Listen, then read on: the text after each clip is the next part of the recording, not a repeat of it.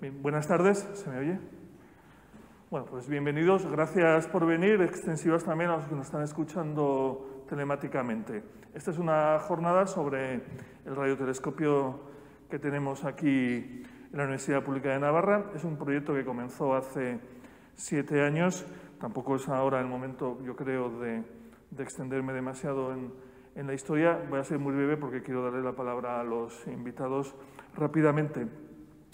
Pero puedo decir que el, el asunto este empezó hace unos siete años, más o menos por la iniciativa de dos personas que están aquí que van a hablar, que son los hermanos Vesperinas, que ellos insistieron, estaban muy ilusionados y tenían, eh, bueno, pues idea y algo de conocimientos sobre, sobre el asunto. Y entonces, pues, eh, nos instaron a un grupo de, de, personas, de profesores aquí, también a intentar hacer algo en pos de conseguir un radiotelescopio. ¿no? Y entonces, bueno, pues hemos tenido que reunirnos muchísimas veces, llamar a varias puertas y al final, después de tantos años, pues la iniciativa ha empezado a andar hace relativamente poco. Eh, en realidad, el propósito del radiotelescopio en la Universidad Pública de Navarra se puede decir que se sustenta en tres patas. ¿no? Una de carácter, digamos, de divulgación. Queremos hacer divulgación en el seno de la universidad, pero también fuera, extendida al público en general y quizá haciendo énfasis en los más jóvenes, ¿no? que son los, los, chavales jóvenes de colegios y de institutos, porque ellos son el futuro, eso es evidente. Eh, la segunda parte sería eh, hacer algo de docencia. Sabéis que aquí en la Universidad Pública de Navarra no tenemos específicamente una carrera de física, tenemos carreras básicamente de ingenierías, también ahora hay una de ciencias así en general, pero eh, sí que creemos que el radiotelescopio puede ser visto por distintos colectivos dentro de la universidad para utilizar en el ámbito docente. ¿no? Eh, ¿Por qué? Pues porque aquí hay eh, un estudio, un grado de ingeniería de telecomunicaciones y entonces hay gente que se dedica a antenas, gente que se dedica a, a, la señal y entonces pues gente de allí, profesores de ese ámbito, pues sí tienen interés en, en estas cosas. ¿no? Eh, y además pues están también algunos de ellos participando y han venido aquí. Eh, también dentro de ciencias pues hay eh, en el Departamento de Físicas y Patricia y yo que estamos en matemáticas pues también estamos interesados en, hacer algo de tipo docente y en particular pues en la medida de lo posible, pues, pues hacer trabajos de fin de grado o tener algún becarios de colaboración, etcétera, etcétera, que puedan eh, hacer o dedicar sus esfuerzos para el radiotelescopio. Y la tercera parte sería la investigadora, que quizá esa eh, de momento es menos fuerte, pero que también querríamos, en la medida posible, involucrar a personas, a estudiantes, ya sea a través, en principio, de trabajos de fin de máster y quizá en un futuro eh, mediante eh, elaboración de tesis doctorales, etcétera, que pudieran hacer algo eh, con el radiotelescopio. Bueno, esa sería un poco la primera parte. Voy enseguida ya a introducir o hablar de los tres, de los que eh, consiste la sesión de hoy. Primero va a hablar eh, Juan Ángel Vaquerizo, que viene de Madrid. Juan Ángel es astrofísico, estudió en la Universidad Complutense de Madrid y al principio se dedicó a la enseñanza de la física y luego eh, se incorporó al INTA, al Instituto Nacional de Técnica Aeroespacial, como responsable del proyecto Partner. El proyecto Partner es un proyecto entre INTA y la NASA, un proyecto académico con el radiotelescopio de la NASA en Robledo de Chabela, en Madrid. Eh, después de iniciar su actividad en este contexto, se incorporó en 2009 a la Unidad de Cultura Científica del Centro de Astrobiología que es un centro mixto entre, INTA y el CSIC. Entonces, pues ha seguido su labor a cargo del proyecto este Partner y también pues, ha coordinado y coordina proyectos educativos relacionados con la astrobiología, las ciencias planetarias y bueno, pues también pues, hay que destacar su labor eh, divulgativa, de divulgación de ciencia y, bueno, y es conocido por, por, participar en muchas, en muchas charlas y en muchas, eh, bueno, y por escribir libros muy interesantes sobre, sobre estas cosas. Bueno, por el último de ellos, Marte o la conquista de un sueño. Bien, bueno, pues él nos va a hablar un poco del proyecto Partner, de su perspectiva, de su experiencia.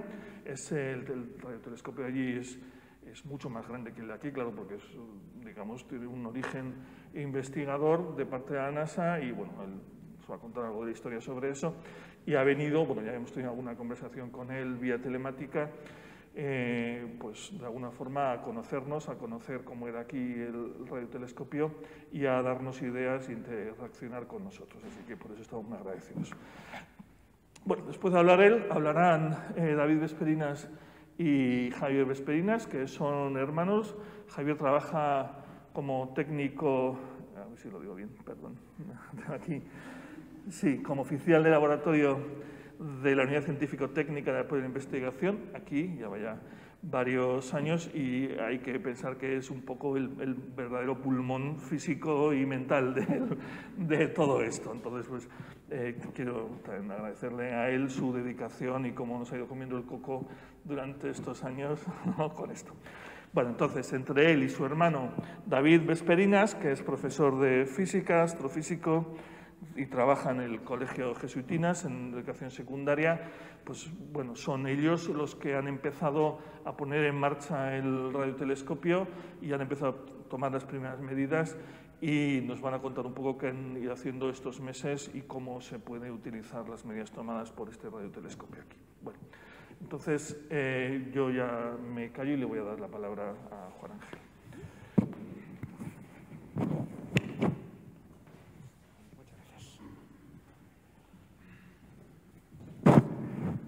Muchas gracias. Eh, voy a poner mi presentación.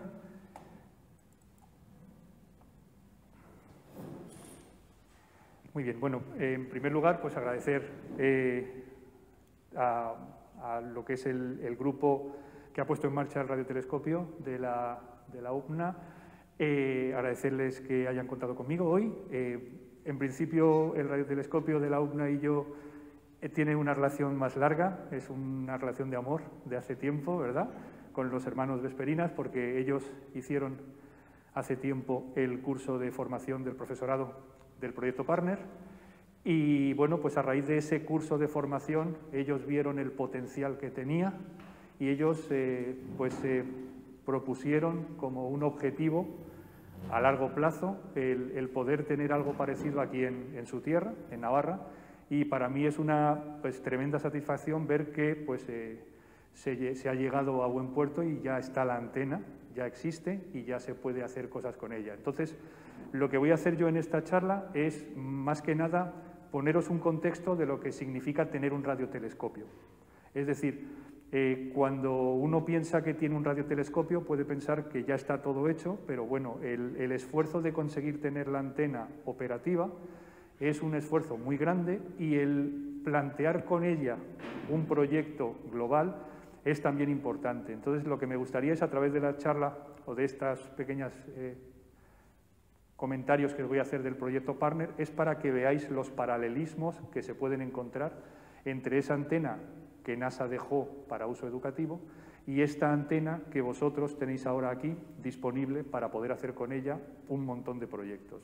Espero que al final veáis un poco esos paralelismos y veáis el potencial que yo veo que tiene la antena. ¿De acuerdo? Bueno, ahí tenéis una imagen no de toda la antena de Partner, sino de la parte de lo que serían los, los alimentadores o las bocinas, que son las, las zonas donde se recoge la radiación que se capta del espacio. ¿De acuerdo? Una de las cosas interesantes de la radioastronomía, la voy a decir ya, antes de que se la diga en una frase muy larga y os pase desapercibida, y es que la atmósfera es transparente para las ondas de radio independientemente que sea de día o de noche. Por lo tanto, veréis que esa antena está ahora funcionando y es una imagen tomada de día. Entonces es una de las cosas muy interesantes como aplicaciones didácticas de la antena. No necesito que sea de noche para poder hacer radioastronomía. Es verdad que sigo necesitando que la fuente esté encima del horizonte, eso no lo puedo evitar, porque la opacidad de la Tierra a la radiación electromagnética está clara.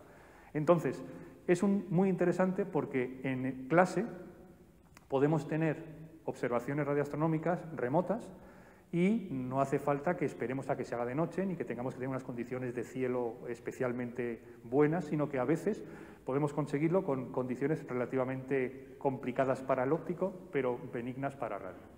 Entonces, bueno, pues eh, lo primero que tenéis que tener claro es que la radioastronomía y la astronomía no se pegan, sino que son muy amigas. Cualquiera de las partes del espectro electromagnético que tenéis ahí, lo he puesto en vertical por energías, ¿de acuerdo? Aquí os pongo el espectro óptico un poco en grande para que veáis, el infrarrojo rojo y el eh, violeta ultravioleta están por arriba, las radiaciones de mayor energía arriba, las de menor abajo. Bueno, pues eh, todas las radiaciones electromagnéticas son captadas por diferentes tipos de sensores y todas ellas nos dan información del universo, cuando apuntamos hacia el universo, evidentemente. Entonces, fijaos, es interesante que tengamos claro que la primera información que nos ha llegado del universo a través de la radiación electromagnética la captaron nuestros ojos. Por lo tanto, la llamamos astronomía óptica. Esa astronomía óptica, evidentemente, creció, se hizo mayor cuando pudimos desarrollar sensores que mejoraban nuestros ojos, que son los telescopios. Y esa es la astronomía que conocemos. Todo es astronomía en el fondo, pero tenemos unas ciertas ¿no? querencias por, la historia y por lo que sería pues esos astrónomos de antaño que se dejaron los ojos literalmente hablando para poder observar el universo. Entonces, bueno, pues la astronomía evidentemente nos ha dado un montón de información, pero es que, como veis, el espectro es mucho más grande. Entonces, vamos a explorar esas zonas y lo que tenemos es una gran zona del espectro, que son esas longitudes de onda mayores, energías menores, y todo ese rango es el que cubre la radioastronomía. Entonces, cuando nosotros observamos los objetos en, radioastronomía, estamos observando los mismos objetos que observan los telescopios ópticos, pero la información que recibimos es complementaria. Nos hablan de otros fenómenos físicos que tienen lugar en esos objetos y que producen la emisión de esa radiación a esas frecuencias. Eso significa que la información que obtenemos con los radiotelescopios es complementaria de la que obtenemos con los ópticos y con los otros sensores.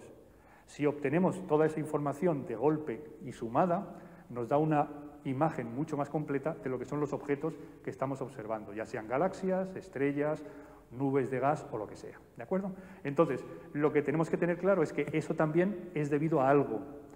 Es la atmósfera la que nos está permitiendo captar esa radiación abajo, en la, superficie. Eh, la atmósfera, pues por seguridad para nosotros también, eh, a pantalla las radiaciones de mayor energía, con lo cual, si queremos captarlas, como veis en esta imagen, tenemos que poner satélites en órbita que tengan esos sensores que capten esa radiación.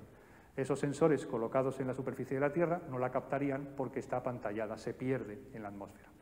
Tenemos ventanas atmosféricas que nos permiten captar radiaciones, ya sea en el rango del radio o en el rango óptico. Veis que tenemos algunas ventanas por aquí. Esto de aquí de espacio significa que nos tenemos que poner más altos en la atmósfera. Por eso ponemos telescopios en altitudes elevadas, ¿vale? Para que haya menos cantidad de atmósfera y podamos tener señal.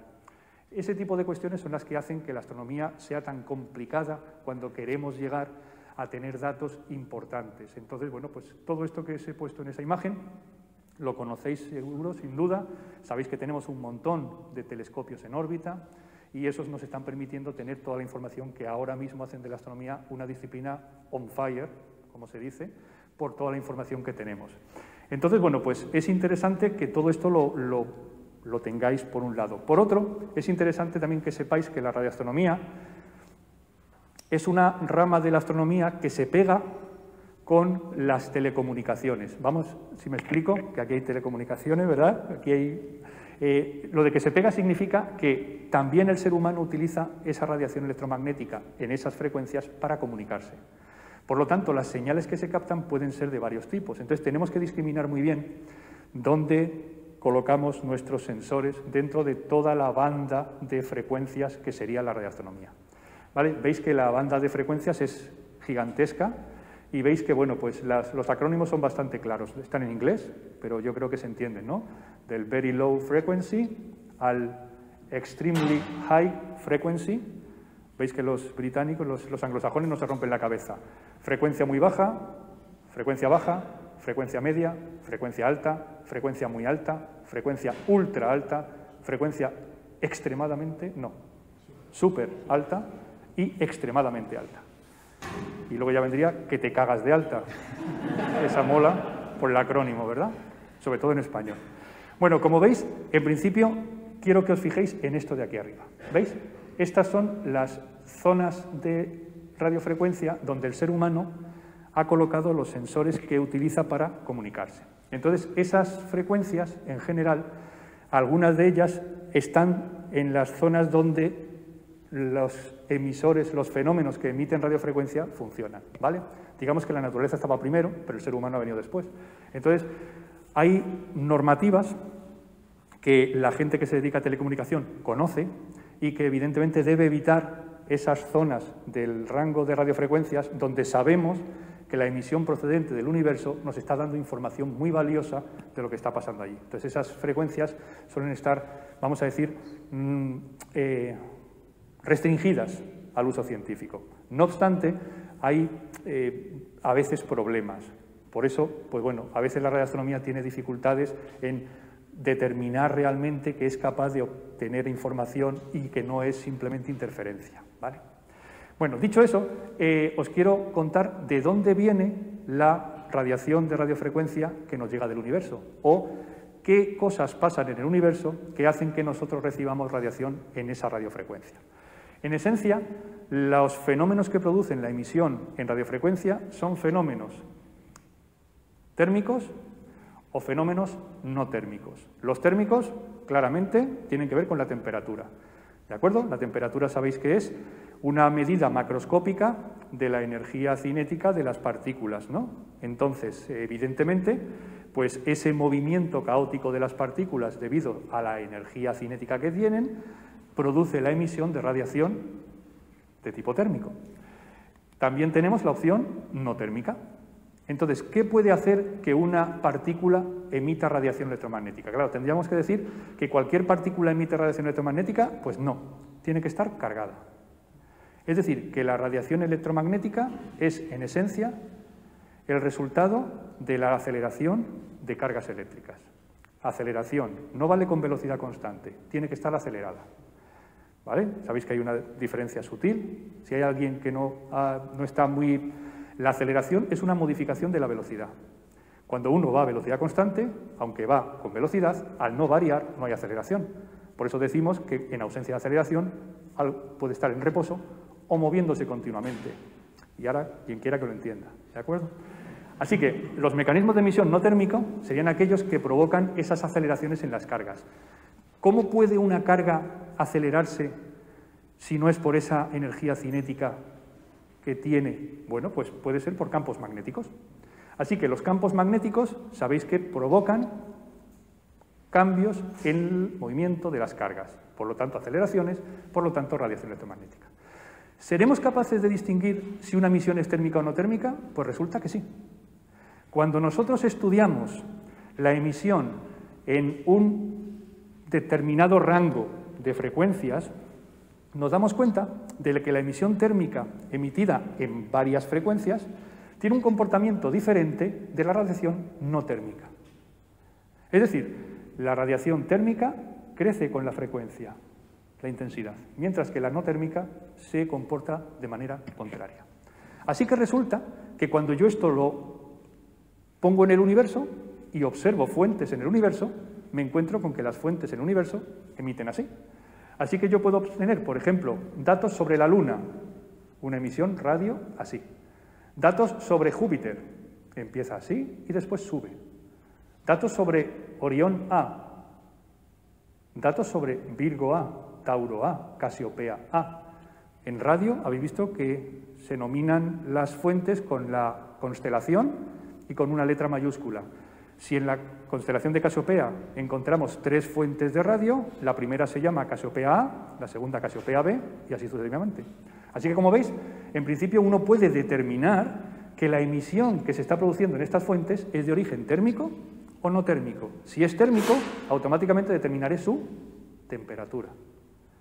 Así que, por ejemplo, de la Luna puedo sacar con una lectura en radiofrecuencia la temperatura de la Luna. O sea que con un radiotelescopio puedo saber la temperatura de un cuerpo, pues sí. Entonces lo llamamos termómetro, pues vale, si quieres, llámalo termómetro. Nunca he visto un termómetro así, de grande. Bueno, pues así que, como veis, los radiotelescopios sirven para darme información de lo que está pasando en las fuentes que observo. Y esa información es interesante porque quizá la parte óptica no consigue dármela o la parte del rango del espectro electromagnético que no es observada con radiotelescopios no es capaz de darme esa información que sí que me la da la radiofrecuencia. Entonces es interesante, por ejemplo, las fuentes como Júpiter. Júpiter parece que es no térmico y luego es térmico. Entonces el, el conocer esto os diría, ¿a qué frecuencia observaríais Júpiter para determinar su temperatura? Pues a lo mejor a estas de aquí, que se comporta térmicamente. Marte, por ejemplo, ¿veis? Igual, está ahí. Esta parte de Júpiter resulta que no se comporta así. ¿Qué podemos deducir de eso? Sin saber mucho, que Júpiter tiene campo magnético. ¿Por qué? Porque es el magnetismo el que hace que la radiación se emita de esa manera en esos rangos. ¿Entendéis por dónde voy? Es decir, que evidentemente no le pedimos a un radiotelescopio que me haga una imagen bonita de una fuente, porque para eso tengo los telescopios ópticos. Pero yo le pido al radiotelescopio que me dé información que a lo mejor un telescopio óptico no me va a dar. Una foto muy bonita de Júpiter no me va a decir cuál es su temperatura. Y en cambio, una imagen, vamos a decir, un poco fea de Júpiter, me dice su temperatura. O me permite deducirla. ¿Entendéis por dónde voy? Así que cada uno de los instrumentos que tenemos a mano nos permite hacer ciencia, al nivel que sea, porque aquí no os voy a mentir. Si queréis observar Júpiter, vuestra antena tiene que tener una sensibilidad por encima de este nivel. Porque si está por aquí, no captáis Júpiter. ¿Entendéis por dónde voy? Así que también ocurre que a veces las cosas son preciosas, pero tenemos que rompernos la cabeza para conseguir tecnológicamente llegar a esas sensibilidades. Nos pasa con los telescopios igual, ¿verdad? Si yo quiero ver una nebulosa, a lo mejor tengo que tener mucho tiempo de integración o tengo que tener un telescopio muy sensible.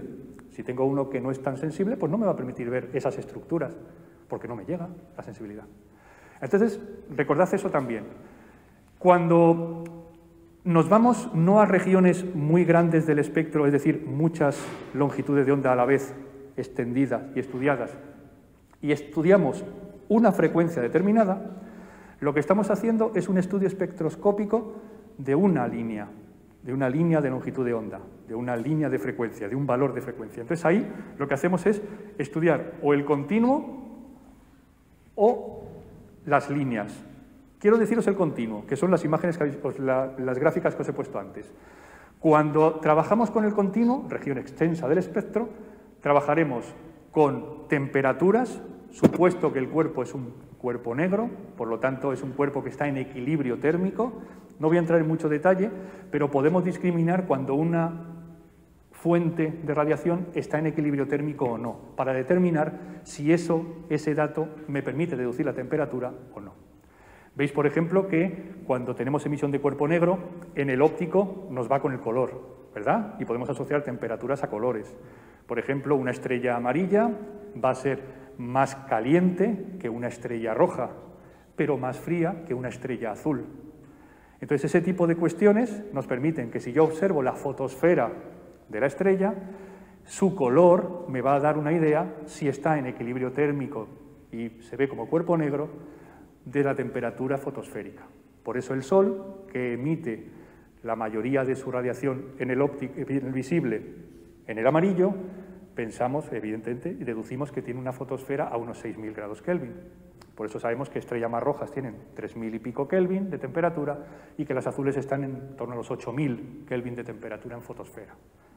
¿Veis por dónde voy también, no? Es decir, ese tipo de cuestiones las tenemos que tener claro. Radiofrecuencia. Radiofrecuencia está por aquí. Fijaos, las temperaturas que se miden en radiofrecuencia son temperaturas más frías. Por lo tanto, los cuerpos que observamos en radio de los cuales obtenemos su temperatura, nos van a dar siempre temperaturas muy frías. ¿De acuerdo? Cuando digo muy frías, estamos hablando en kelvins, ¿no? ¿Vale? Entonces tenemos nubes de gas, muy frío, nubes de gas que generalmente crearán estrellas en el futuro, pero en principio que en ese momento donde las estamos observando están en un estado diferente. ¿vale? La radiación de frenado es otro tipo de radiación continua, es decir, en muchas frecuencias, y eso se da cuando pasa eso que veis ahí, cuando una carga deflecta el movimiento de la otra. Fijaos en una cosa curiosa, ¿veis que esa partícula pequeñita tiene tres trayectorias? Una recta, una curvada y otra recta, y veis que solamente emite radiación cuando se curva, porque solamente cuando se curva se acelera. Y recordáis lo que os dije, la radiación electromagnética se emite cuando las cargas se aceleran.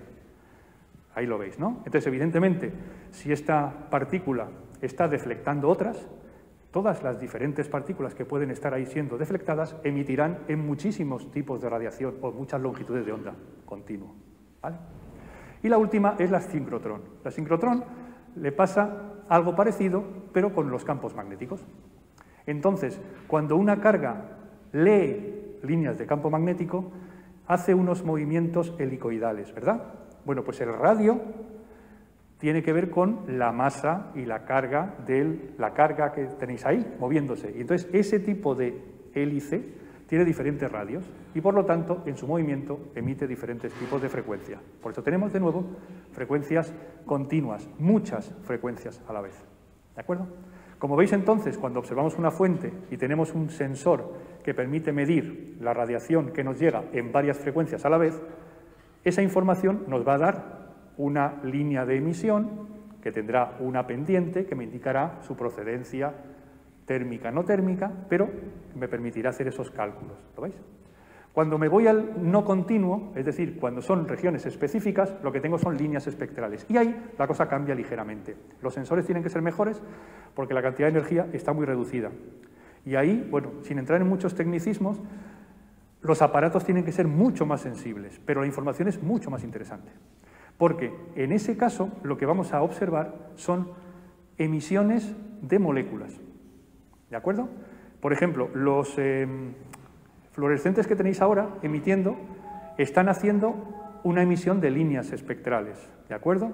Si tuviéramos ahora mismo un prisma a mano, si tuviera un prisma y lo pudiera dejar, o una red de difracción, y miraseis por ahí, veríais que esa luz descompuesta marca líneas de color, que sumadas dan ese color final.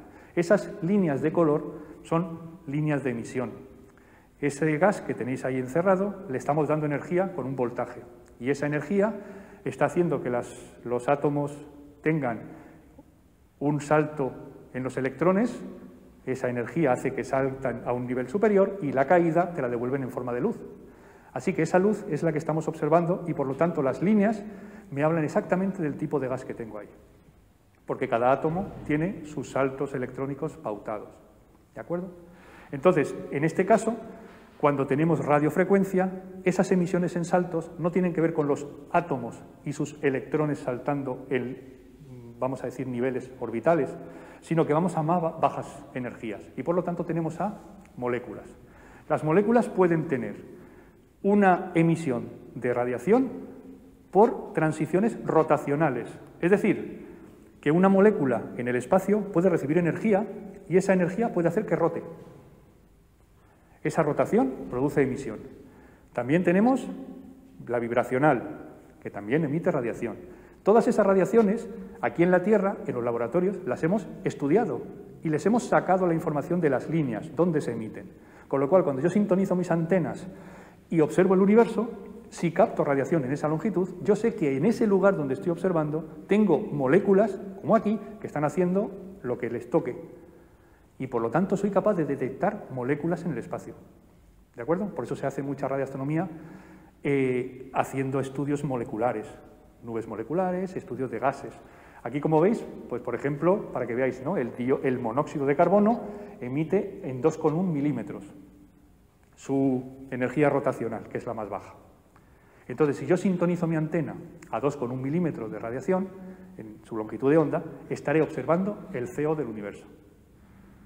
¿De acuerdo?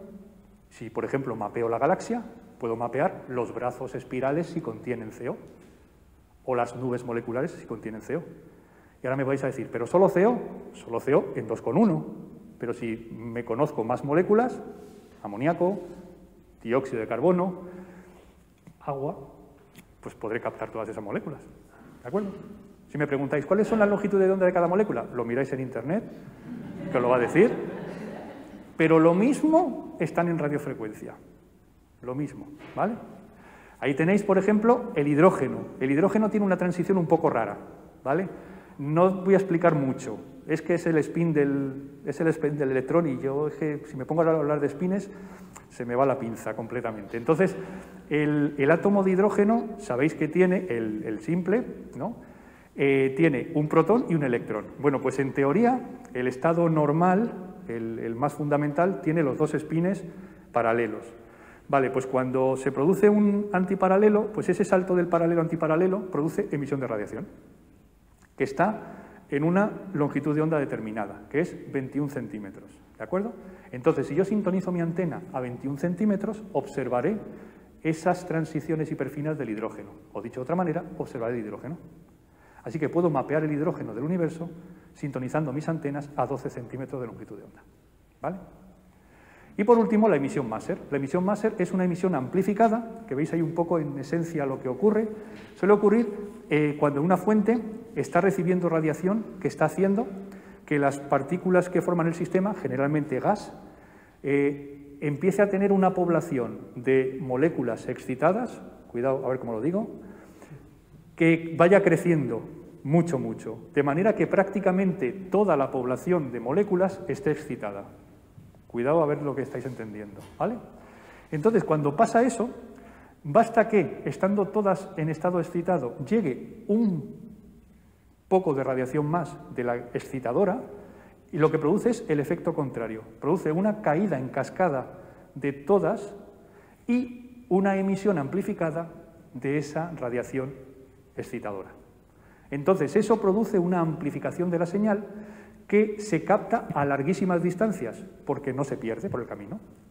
Así que tenemos emisión Maser, Maser, sabéis que es la M, la L de láser es de light, ¿no? Entonces, bueno, pues la M se supone que es eh, a otra frecuencia, ¿de acuerdo? Entonces, lo que obtenemos con un Maser es información de un entorno que tiene un estado de excitación determinado, pero que me está dando información de cuál es la molécula que está ahí. Así que tenemos máseres de agua, tenemos máseres de CO2, tenemos máseres de amoníaco. Es decir, podemos ser capaces de captar señales procedentes de lugares donde esas moléculas están ahí por esa amplificación de la señal por efecto máser. Y bueno, pues en principio eso es lo que quiero que veáis de lo que ocurre en el universo que puede ser captado con un radiotelescopio. La forma de hacerlo es igual que los telescopios, porque es radiación la misma. Lo que tengo que hacer es coger la radiación y recolectarla, juntarla, tener una señal suficientemente importante. Entonces, no se hace exactamente igual que como se hace en el óptico, porque el funcionamiento es distinto. ¿Vale? La radiación no, es, no se trata igual la radiación. Por ejemplo, en el óptico utilizamos eh, la capacidad que tienen algunas sustancias de cuando reciben fotones emitir electrones. ¿Sí? ¿De acuerdo? Entonces, esas son las cámaras CCD, ¿no? los dispositivos de carga acoplada. Son como, como cubos que cuando viene un fotón, si todo fuera bonito, saldría un electrón. Este en principio no hacen eso, pero de, de, fotones salen electrones. Esos electrones se recolectan en esos cubitos, que son los píxeles.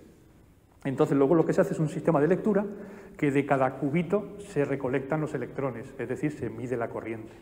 Y de esa manera somos capaces de asignar a cada píxel una intensidad y eso nos da una imagen bidimensional. Así funcionan las cámaras CCD. Entonces, eso es una forma de captar fotones ópticos, que son los que producen ese salto de electrones que puedo medir. Los electrones, los fotones de radio no tienen tanta energía como para poder hacer eso. Entonces se hace diferente. Entonces, bueno, pues depende un poco de cómo trabajamos la señal. En esencia lo que hacemos es recolectarla. Recolectarla es diseñar un sistema colector que me la junte toda. Y eso lo hacemos con espejos. como se hace en el óptico. Los espejos de radio son diferentes de los espejos del óptico, porque tienen que hacer que se refleje radiación de longitudes de onda mayor. Si yo tuviera que hacer, reflejar vuestra imagen en una superficie que pusiera aquí vertical, tendría que pulirla tanto para que los fotones que llegan se reflejaran exactamente ahí. En el caso de radio no es necesario tanta, tal grado de pulcritud en esa forma de la superficie reflectante. Entonces, bueno, lo único que tengo que vigilar es que el reflector principal tenga la forma adecuada que permita que los reflejos de la radiación se lleven a otro punto, que sería el reflector secundario, que a su vez lo llevará a lo que ya hemos llamado antes, os lo dije, alimentador. Es la zona de recolección. Los anglosajones lo llaman horn, bocina, por la forma que tiene, ¿de acuerdo? Es como un embudo. Entonces, bueno, pues lo que se hace en esencia es toda la radiación se recolecta y luego lo que se hace es trasladarla para amplificarla. Una vez que se ha amplificado, luego ya se puede tratar.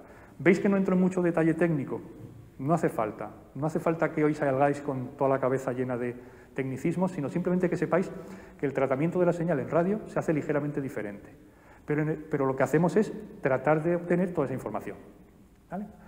Os hablo de partner para que veáis todo esto en qué se traduce cuando tenemos una antena. Bueno, un partner como ha dicho muy bien em, eh, antes Jesús, es un proyecto que tiene que ver con NASA. NASA tiene una estación, una ahora, tenía más antes, en España. Está en Robledo de Chabela. Es la eh, eh, Madrid Deep Space Communication Complex, el complejo de comunicaciones lejanas o profundas de Madrid. Entonces, en la actualidad, esta foto es antigua. Ahora hay dos antenas más, ¿de acuerdo? Entonces, de todas ellas, veis que son, algunas son, están muy grandes, 70 metros, esta tiene 26 y estas tienen todas 34 metros, ¿vale? Bueno, pues la nuestra es esta. Entonces, bueno, pues esta antena es una antena muy antigua que tiene una historia muy bonita. Esta antena fue la que NASA construyó en 1965 para recoger las primeras imágenes que iba a obtener la misión Mariner 4 en su sobrevuelo sobre Marte. Entonces se construyó para recibir esas eh, fotos. ¿De acuerdo? La misión Mariner 4 tuvo éxito, sobrevoló Marte, tomó 21 imágenes y esas 21 imágenes se enviaron a la Tierra en unos aproximadamente tres meses y medio.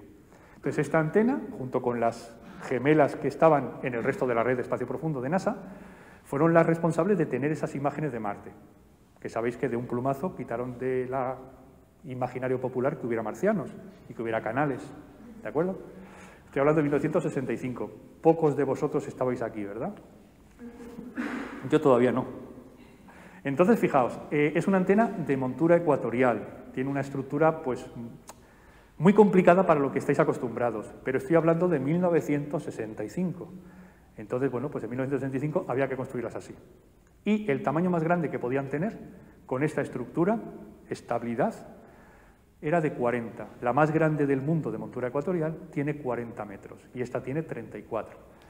Inicialmente tenía menos. ¿Veis que tiene una zona diferente? Inicialmente tenía 26 y luego se amplió a 34.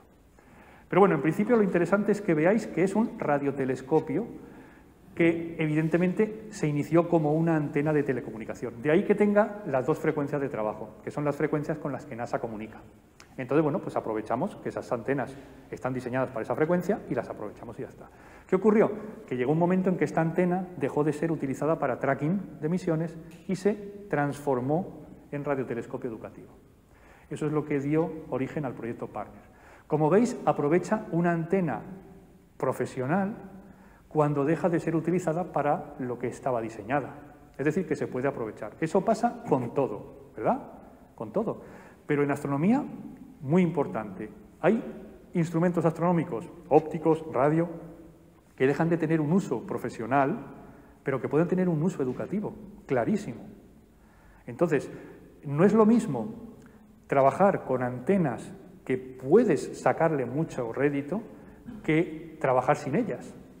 Y lo que hay que hacer bueno, pues es el esfuerzo de pues, conseguir que NASA se involucre y lo pueda hacer. Cuando vosotros, por ejemplo, tenéis la opción de tener una antena que es verdad que no llega a los 34 metros, pero que tiene la capacidad de captar esas señales de radiofrecuencia, estáis en la misma situación. Tenéis un instrumento que es científicamente válido y tecnológicamente atractivo, porque hay que romperse la cabeza para que eso funcione. Y por lo tanto, todo eso es un potencial educativo tremendo, porque vale para hacer ciencia, pero vale para aprender cómo se hace la ciencia.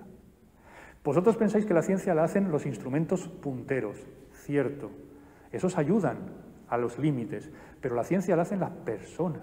Y cuantas más personas están involucradas, más se da uno cuenta de lo que importa la ciencia porque la hacen las personas. Pues involucrarse en construir esto en tener las manos manchadas de cómo se hace esto, os da una medida de la importancia que tiene la construcción y el diseño y las mejoras para que los datos que se obtienen tengan validez científica. Con eso conseguimos hacer ciencia, pero con las manos manchadas la ciencia sabe mejor, como la cocina, ¿vale? Que uno se puede chupar los dedos. Bueno, pues la antena de partner tiene dos frecuencias y la hace con dos bocinas, pero la antena es única. ¿Cómo consigue eso? Bueno, pues lo que hace que se pueda observar en dos frecuencias es eso, que se llama espejo dicroico, que mola mucho, no empezaría una conversación con alguien a quien me quiera ligar con eso, pero tiene su cosa. Un espejo dicroico, eso es una plancha de metal de este grosor con agujeros. ¿Vale? Lo hemos llamado espejo dicroico, sí, y está bien, y está bien dicho, porque refleja. Fijaos, la radiación que viene, ¿vale? Los agujeros son grandes, pero no son muy grandes. Entonces, la radiación que se ha reflejado en el espejo primario y llega al subreflector entra por los agujeros. Atraviesa los agujeros, porque la longitud de onda de esa radiación es más pequeña que los agujeros. Así que la atraviesa. Ese es el cono de banda X. ¿De acuerdo? Que estamos en unos aproximadamente pues, dos centímetros, ¿no? Tres centímetros. En cambio, la radiación que tiene mayor longitud de onda, los agujeros los ve como si fuera macizo, así que se refleja. Y con un cardioide, que es un reflector, consigo meterlo dentro del cono de banda S. Es decir, que con un espejo dicroico yo puedo separar la radiación.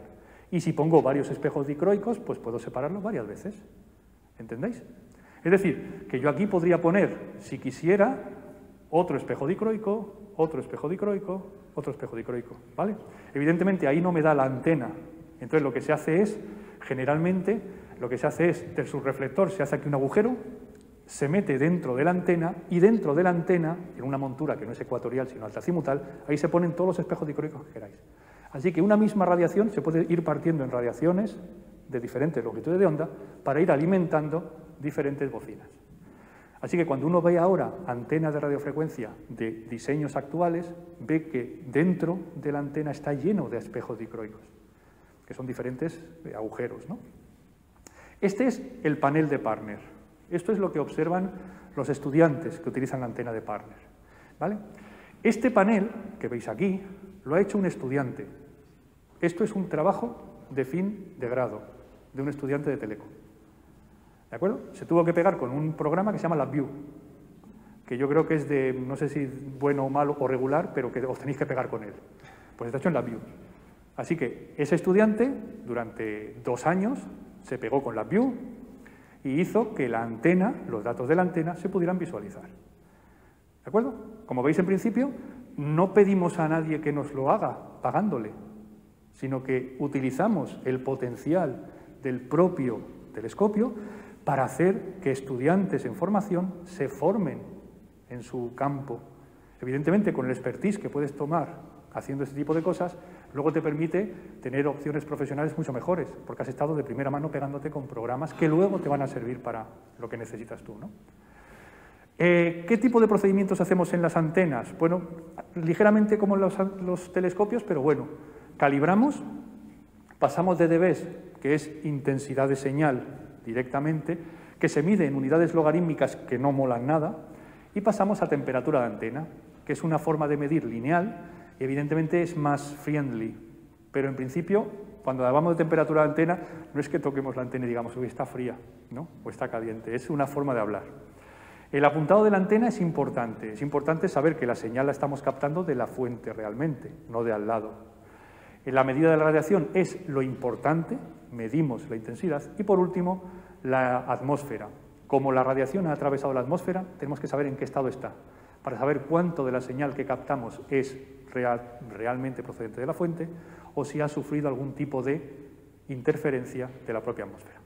Por ejemplo, hoy que está nublado, la antena tiene señal procedente del vapor de agua y eso está interfiriendo, está metiendo señal. Eso, si nosotros caracterizamos cómo está la atmósfera, tendremos datos mucho mejores que si no lo hacemos.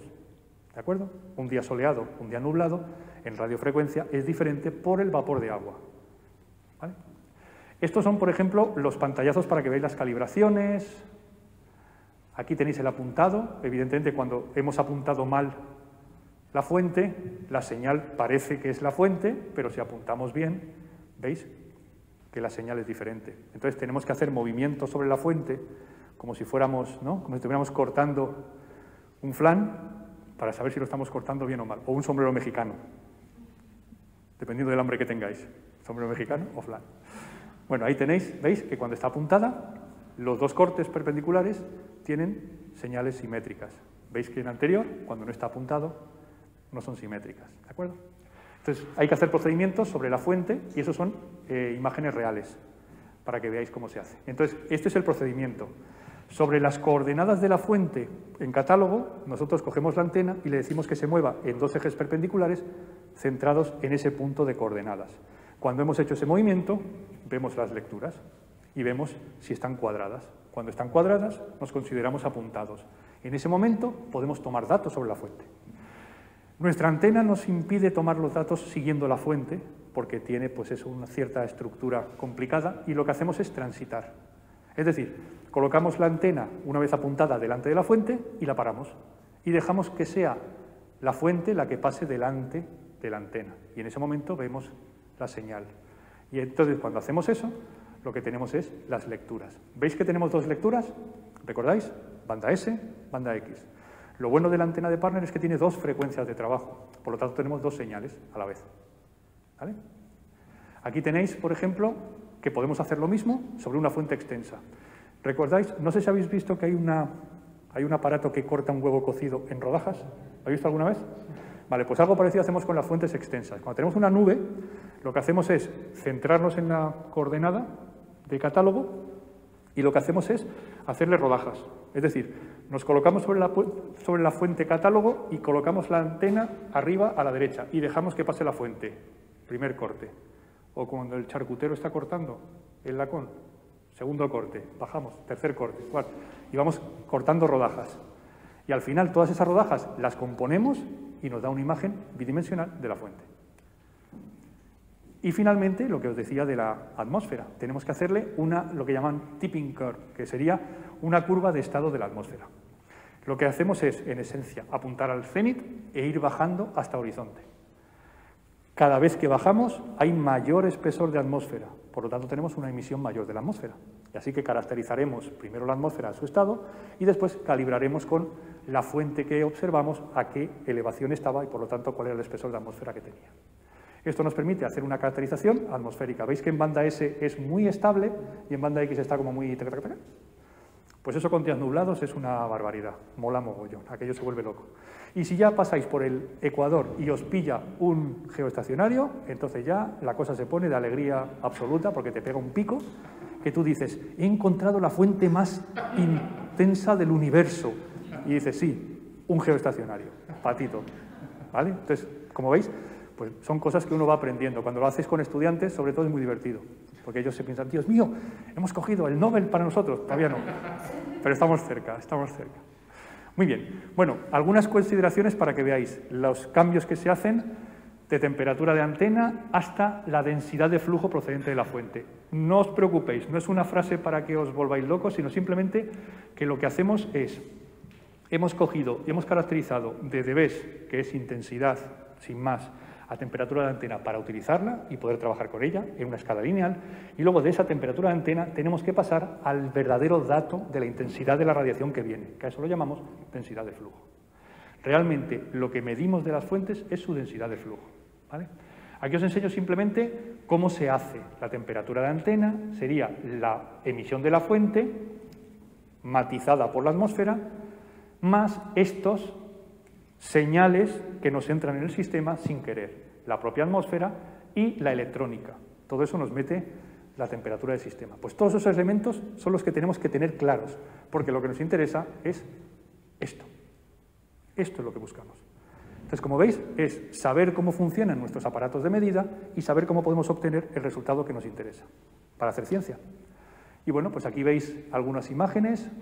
Esto es en el sistema, en el panel de control, y esto es lo que hacen los estudiantes con Excel. Aquí estamos en lo mismo, los estudiantes tienen unas herramientas y nosotros tenemos otras. Ellos se llevan los datos que han visualizado antes, pero luego ellos tienen que trabajarlos en clase y en clase no tienen las mismas herramientas que nosotros. Excel es una herramienta limitada, pero que permite hacer ese tipo de estudios, con lo cual siempre ponemos lo más bajo. ¿Entendéis? Si alguien quiere utilizar un sistema que conoce y que domina y que le permite hacer este tipo de análisis mucho mejor, pues adelante. Siempre hay que ponerlo más bajo para un poco que, que los estudiantes puedan trabajar. Y bueno, pues la temperatura de la fuente, como veis, pues se tienen que ir haciendo diferentes cálculos que aquí simplemente os lo pongo. Todo este tipo de datos lo tenemos, la elevación durante el tránsito, la opacidad en el cenit también se puede calcular. Y por último, tenemos, ¿veis, la, ¿veis lo que os decía? Mirad en banda S, que tipping, toda llena de... Y aquí veis cómo se ha levantado mucho, y eso es porque estaba nublado ese día. Y veis cómo ellos lo hacen en Excel. Veis que, en principio, es lo mismo. Y por último, bueno, pues la densidad de flujo calculada, que es la temperatura de fuente, que os decía que lo buscamos como el santo grial, y tenemos un factor que depende de cada antena. Cada antena, esto tiene diferente ecuación. Esto viene a ser la cantidad de, Janskis por cada Kelvin medido. Los Janskis es la densidad de flujo, son las unidades de densidad de flujo. ¿De acuerdo? Muy bien. ¿Qué hacemos como proyecto científico? ¿Qué hacemos con los datos? ¿Qué observamos? Pues aquí los pongo para que los veáis el índice espectral, seguir estallidos, es decir, observamos fuentes que de repente tienen una emisión muy alta, sabemos que están en estallido, podemos observarlas. Claro, ¿cómo sabemos que están en estallido? ¿Nos dedicamos sistemáticamente a observarlos? Ojalá, sería tan bonito, pero no. Entonces lo que hacemos es, tenemos alertas, pues resulta que el sistema tal está en estallido, perfecto, pues vamos a por él. Entonces, evidentemente, los radioastrónomos profesionales eso lo dicen.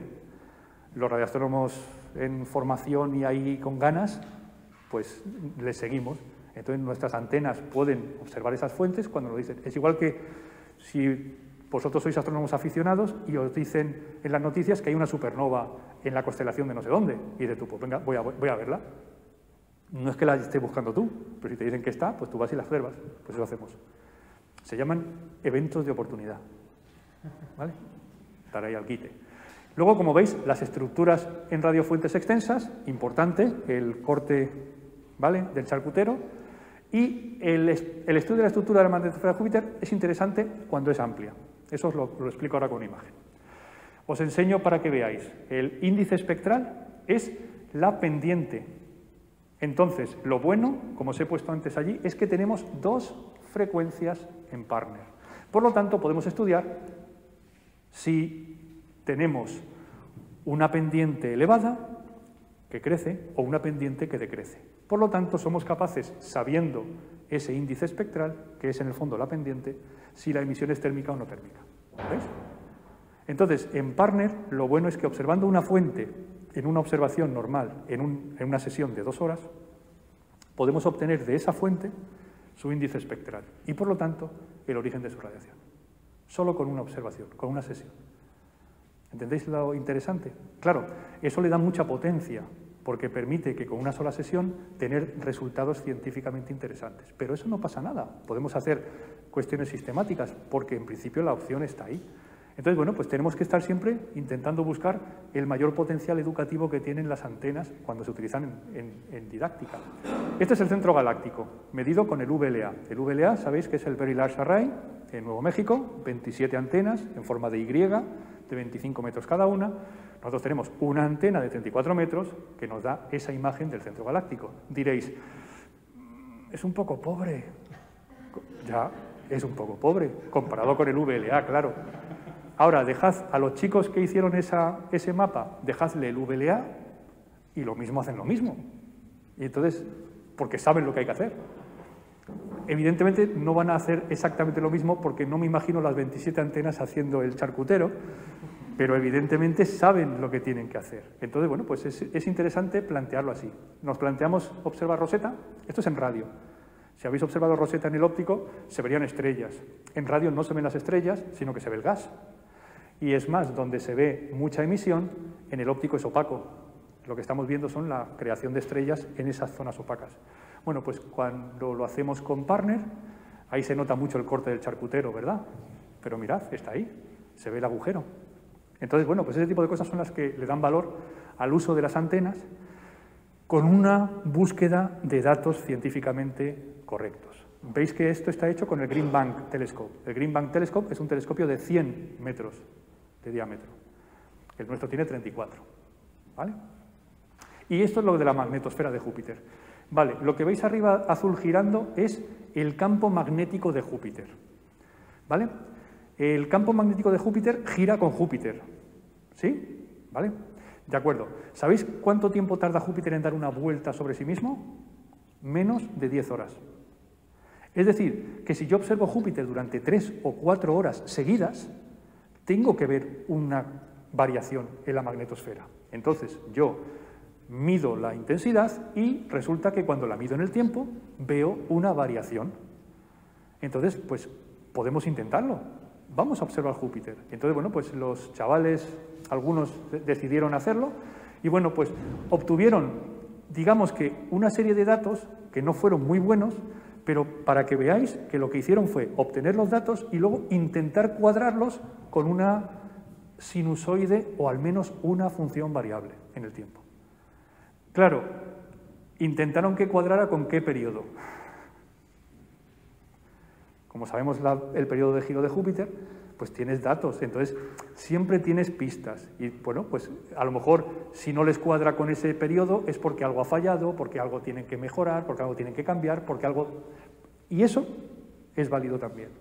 Así que como veis, todo lo que os he contado es simplemente para que os deis cuenta del potencial que tienen los telescopios de cualquier rango del espectro utilizados para la didáctica o utilizados como, eh, vamos a decir, desafíos tecnológicos. Es decir, cuando yo tengo una antena que ya está hecha, veo su potencial y lo intento mejorar. Puedo diseñarle bocinas específicas, es decir, las antenas pueden llevar una bocina específicamente hecha para la antena. Eso es un reto en sí mismo. Por eso os pongo aquí abajo uno de los elementos más interesantes que hemos descubierto nosotros con Partner. Y es que no tenemos que comprar nada, que no tenemos que comprar nada, que no hay que invertir en comprar, sino que hay que invertir en que la gente se forme utilizando esto.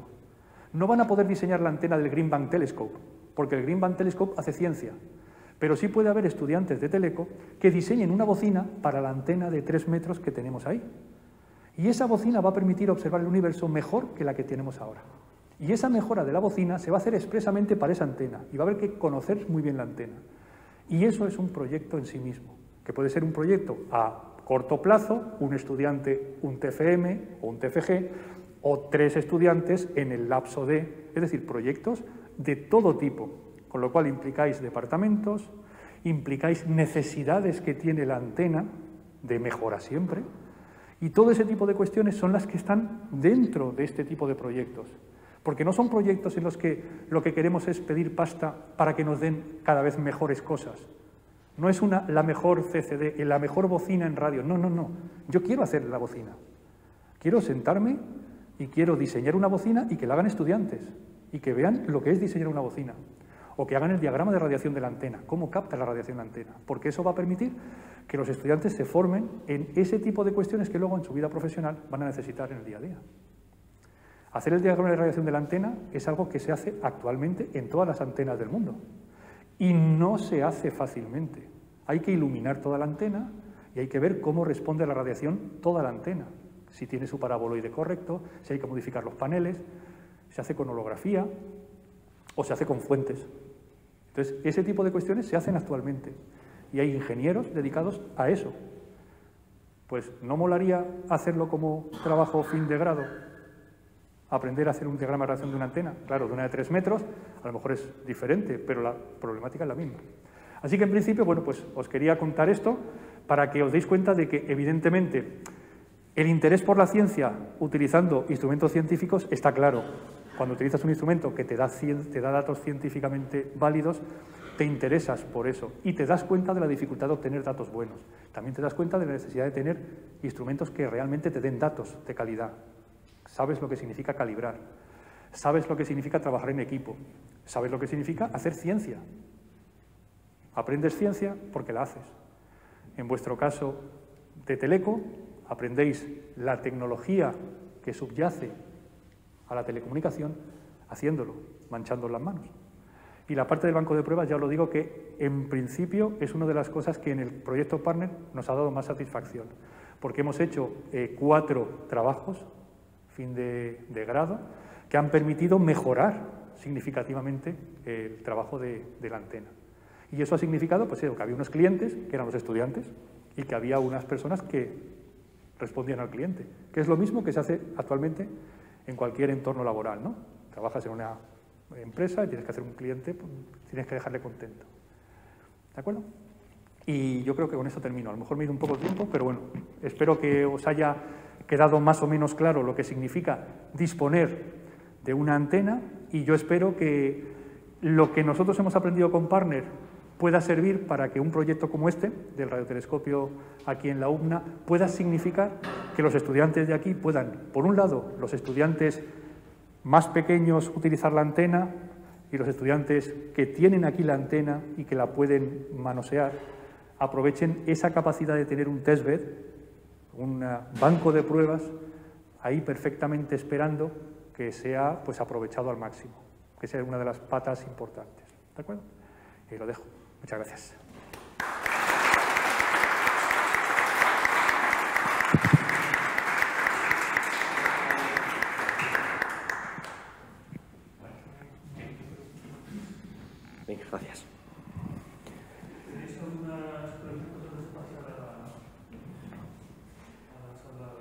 Bien.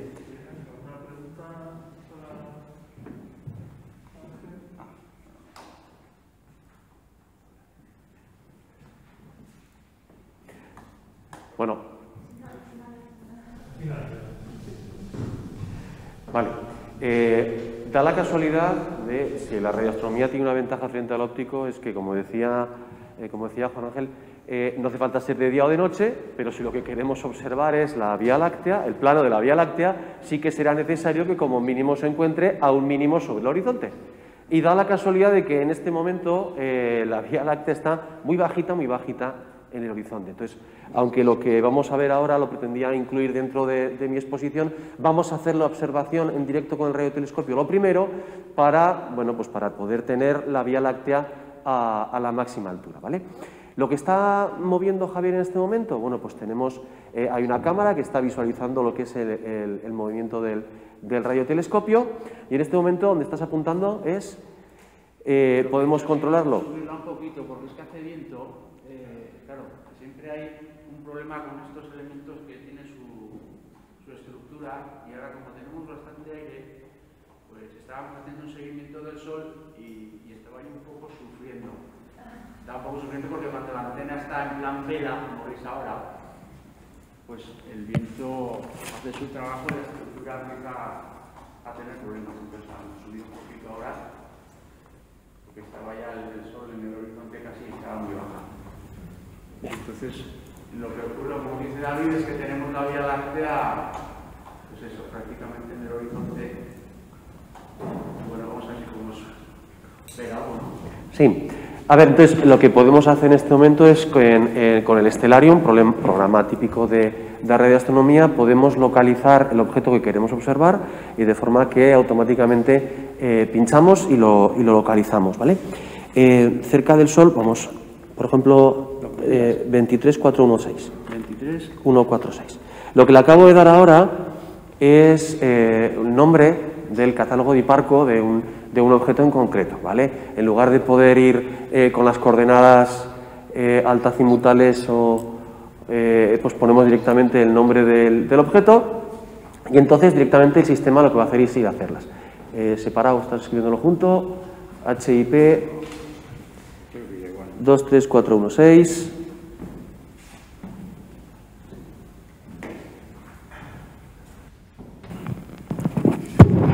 Sabéis que está muy bajito el horizonte, la acaba de localizar y, bueno, ¿por qué en concreto hemos ido por ese punto? Pues porque, luego explicaré eh, es lo que podemos hacer para elegir los puntos que queremos observar. Bueno, pues ya sabemos que ese es un punto que está, que está en el, en el plano. Eh, entonces ahora también lo que va a hacer es la toma, la toma de datos.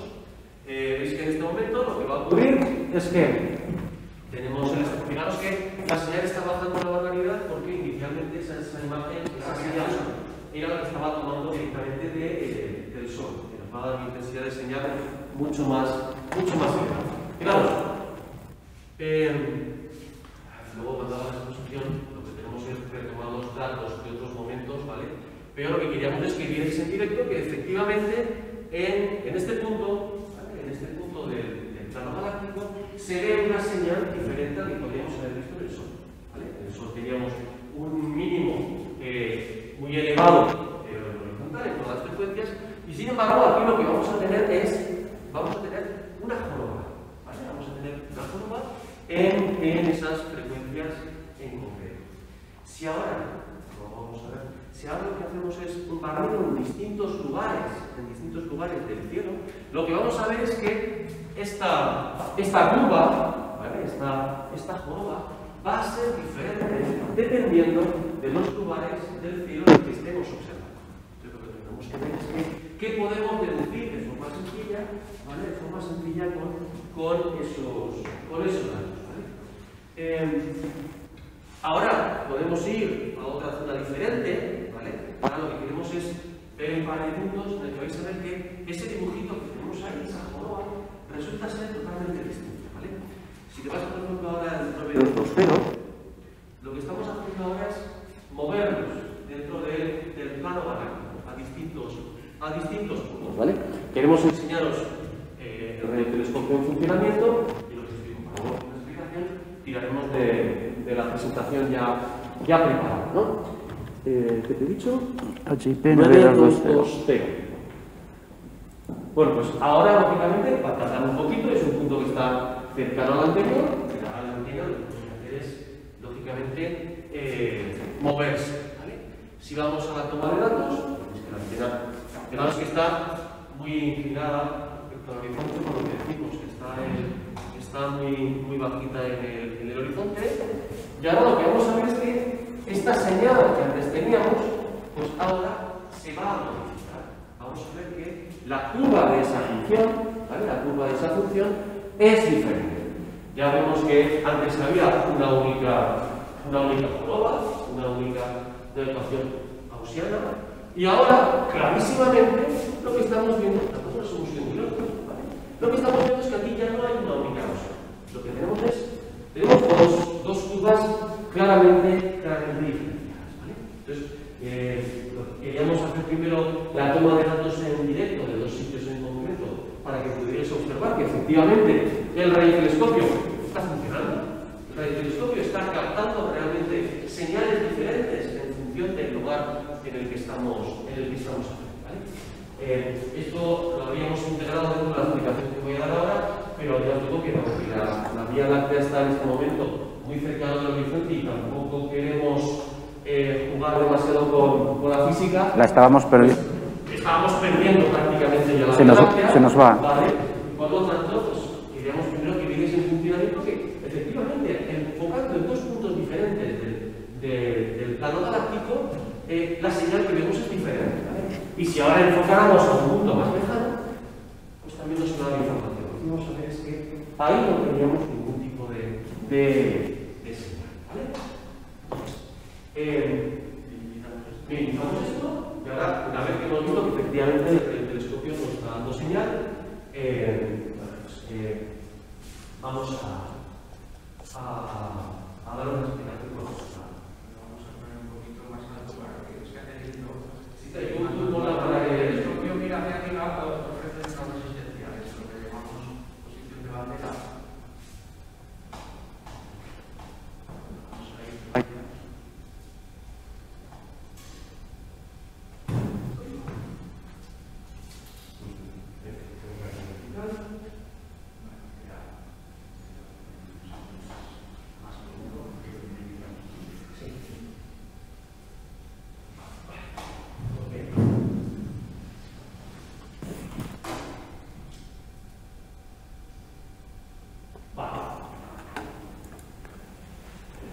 Bueno, eh, bueno, como he dicho, Juan Ángel, el potencial realmente científico y de, y de aprendizaje de cara a universitarios es tremendo. Yo, como llevo más de 20 años intentando hacer que estudiantes de la ESO y bachiller eh, disfruten y aprendan física y matemáticas, pues eh, tengo la mente pues, puesta más, puesta más en, ese, en ese mundo, ¿vale? Y por extraño que os parezca, ¿vale? Por extraño que os parezca, a los alumnos el que les hagamos el estudio de una función y les digamos que esto es el máximo relativo o que les digamos que eh, hagamos problemas de tío vivos que están dando vueltas o que esto es una función o que una función va de un número a otro, pues esto realmente motivar, lo que se dice motivar, motiva más bien poco, ¿vale? Es por extraño que os parezca, ¿vale? Por extraño que os parezca, la explicación de lo que es un máximo relativo en una función eh, tiene bastante, de apasion- bastante poco de apasionante, ¿vale? Bueno, pues ¿qué le vamos a hacer? Eh, vamos a enfocarlo de otro punto de vista. Y si yo te convenzo que con esas herramientas puedes llegar a ser capaz de descubrir cómo es la galaxia en la que vives, bueno, pues igual la película igual empieza a sonar un poquito, un poquito diferente, ¿no? Un poquito diferente. Eh, de forma rápida, porque ya lo has comentado, ¿no? Eh, vamos a trabajar en concreto en una línea que es la línea de 21 centímetros. Eh, si nos metemos en el mundo de la, de la cuántica, pues eh, haremos algunos como que lo entendemos y otros como que también, pero complicadísimo, ¿no? Eh, spin, asociado al, al momento angular, a la rotación. a- Bueno, vamos a, hacer una, vamos a hacer algo que los que realmente saben pueden decir que esto es un- casi una temeridad, ¿no? Asociar a que el protón es una pelotilla y que el electrón es otra, nos estamos cargando eh, toda la mecánica cuántica. Asumimos que son dos pelotillas, ¿vale? Asumimos que son dos pelotillas, eh, aunque algunos me puedan querer pegar. Eh, ¿Qué está ocurriendo? Bueno, pues lo que decías, tenemos un spin, un spin que está asociado a qué? Al momento angular de la partícula. Vale. Eh, resulta que este sistema tiene una energía, tiene una energía diferente si se encuentran los spines paralelos o antiparalelos. ¿Qué es lo que nos ocurre? Bueno, pues lo que has dicho, lo que va a ocurrir es que como los distintos eh, tienen distinto nivel de energía y en el momento en el que pasamos de una situación a otra, esa energía que hay de más, lo que va a ocurrir es que el sistema lo va, lo va a expulsar. Lo va a expulsar y, bueno, pues de acuerdo con la ecuación de Planck, la energía que tiene se va a traducir en una emisión de una onda en concreto. En concreto, esta onda de, eh, de 21 centímetros.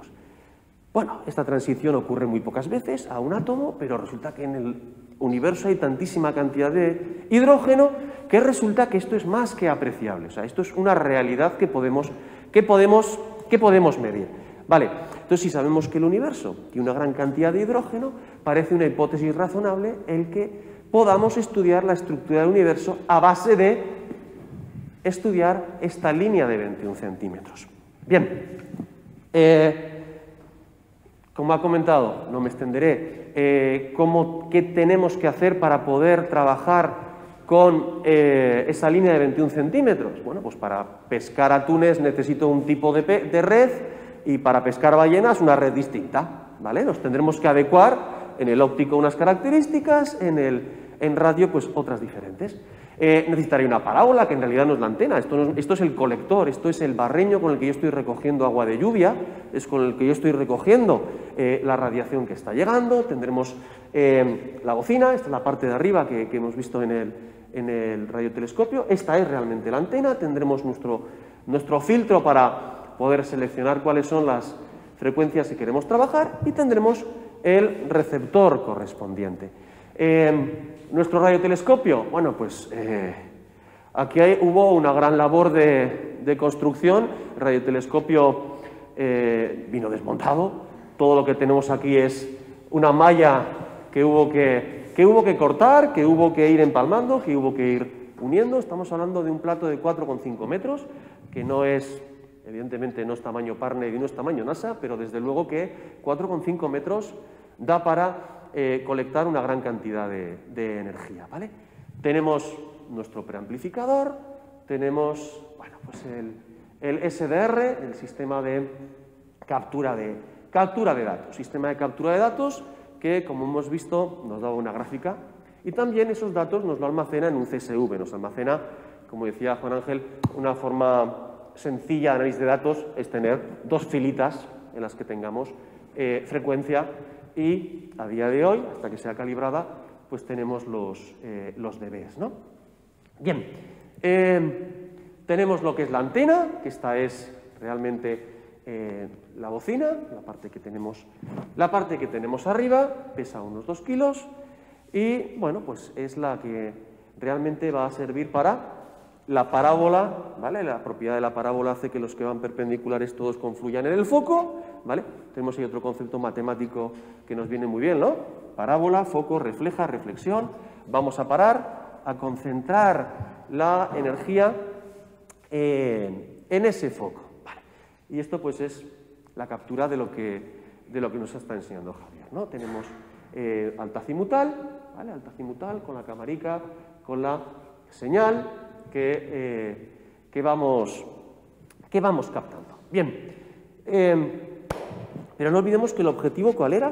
El objetivo es intentar despertar en un estudiante las ganas de aprender y darle excusas para que realmente quiera que yo le explique cosas.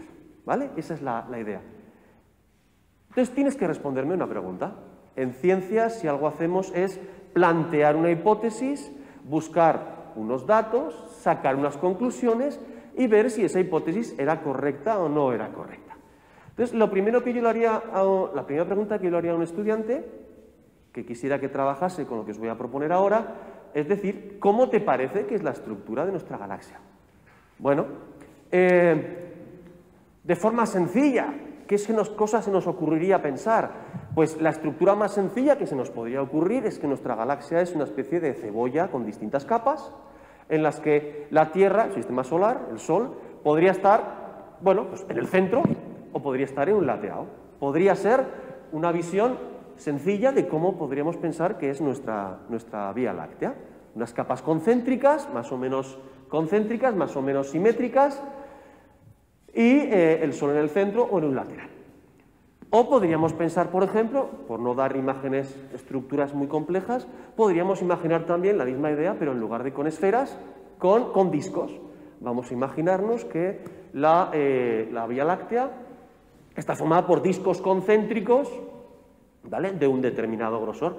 O vamos a imaginarnos, yo qué sé qué, ¿vale? Podríamos imaginarnos que nuestra galaxia es de una forma totalmente irregular y que no tengo ninguna justificación para poder imaginarme. Son hipótesis, hipótesis que es fácilmente, eh, son fácilmente asumibles por un estudiante eh, que le queramos hacer pensar. ¿no? Decir que, ¿cómo es esa...? Vale. Em, llega el radiotelescopio y entonces lo que hacemos es observar. ¿Vale? Ya, hemos, ya hemos visto que universo, eh, gran cantidad de hidrógeno, línea de 21 centímetros, aparato que mide, Señal de 21 centímetros. Vale, o sea, me va a servir para mapear dónde hay nubes de, nubes de hidrógeno. Vale. Em, dependiendo de dónde yo mire, vamos a ver distintas, distintas señales. ¿vale? Dentro de lo que era la estructura, en este momento era el momento en el que íbamos a tomar el control del radiotelescopio para ver distintos, para ver distintos puntos. ¿vale? Como siempre están los imponderables, por si acaso aquí teníamos puesto un, vídeo en el que se ve la toma, de, la toma de datos, ¿vale? Como ya lo hemos visto, me lo, me lo salto. He dicho que me lo salto. Bien. Claro, pero eh, ¿y a dónde miro? ¿Y a dónde miro? Porque claro, dentro de todo el, dentro de todo el universo, ¿no? dentro de toda la bóveda celeste, eh, el estudiante tendría que ser capaz de justificarme a dónde voy a observar. Cuando hacemos una observación astronómica profesional, tú tienes asignado un tiempo y tú no le puedes decir al observador, pues mírame, ande por ahí. No, perdona. Tú le tendrás que decir al observador dónde quieres observar. Y en función del interés científico de lo que le estás pidiendo, te van a conceder tiempos o no te lo van a conceder. Luego, lo primero que tenemos que pedir al alumno es decir, ¿a dónde quieres mirar? Hombre, pues una primera idea sería hacer un muestreo al azar, ¿vale? Vamos a muestrear al azar. Vamos a muestrear el cielo de un día en concreto sin ningún tipo de, justificación, pero vamos a muestrear. Bueno, pues eso nos podría dar una información. Hombre, eh, parece también interesante, si nosotros miramos el cielo en el visual, como decía Juan Ángel, eh, las distintas frecuencias nos dan información de distintos eventos astronómicos que ocurren, todo eso se suma, Por lo tanto, si yo estoy viendo a simple vista que en una noche estrellada, siempre y cuando la contaminación lumínica nos permita el poder verlo, ¿vale? Eh, yo veo en el cielo que hay una zona, una franja que tiene una mayor densidad de, una mayor densidad de, partículas, de estrellas, que eso es lo que llamamos la Vía Láctea. Vale, pues eh, parece ser que podría ser interesante que el alumnado dijera, no, yo donde voy a observar va a ser básicamente en esa primera línea, ¿vale? Lo puedo hacer al azar o lo puedo hacer con, con ese criterio. Fijaros, eh, aquí he puesto una imagen de un bosque, porque es que es muy curioso que, claro, eh, una de las cosas buenas que tiene la radio es que el medio interestelar apantalla la señal muy poco. Cuando se empezó a decir cómo era la estructura del universo. Y cuando lo que hicieron fue, eh, de la galaxia, cuando empezaron a hacer un conteo de las estrellas que había a nuestro alrededor, nos volvía a situar a la Tierra en el centro, en el centro de la galaxia. ¿Por qué? Porque lo que nos ocurría era que eh, en el óptico se apantalla tanto, se apantalla tanto la energía que resulta que nos pasaba como en el bosque. Tú cuando te sitúas en un bosque, mires hacia donde mires, vas a ver el mismo número de árboles. Aunque haya un montón de árboles detrás, las primeras capas ya te han tapado. Por lo tanto, si tú haces un conteo de los árboles cuando estás en un bosque, te va a parecer siempre que estás en el centro del bosque. Y eso es lo que nos pasaba con el visible. Eso no nos va a pasar con la radio, porque la radio, el medio interestelar, no nos lo va a ir, eh, a ir apantallando. Voy a jugar con ventaja, ¿vale? Queremos que el alumno investigue y averigüe cómo es el universo. Me voy a adelantar, me voy a adelantar para que lo podamos entender más fácilmente. ¿Qué es lo que ocurre? La estructura de nuestra galaxia es una estructura de eh, dos, como si fueran dos discos, ¿eh? dos discos planos, bueno, Burgo, una zona central. Eh, y entonces, ¿qué es lo que nos ocurre?